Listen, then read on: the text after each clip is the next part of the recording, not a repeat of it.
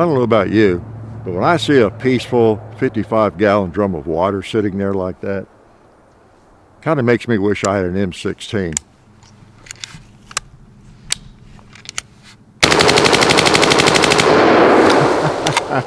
it sure does.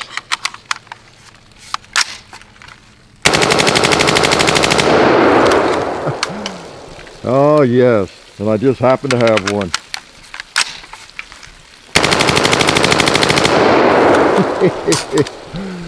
All right.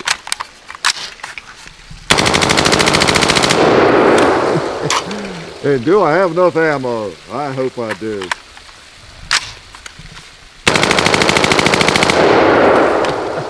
we might need one more out of my other pocket. All right.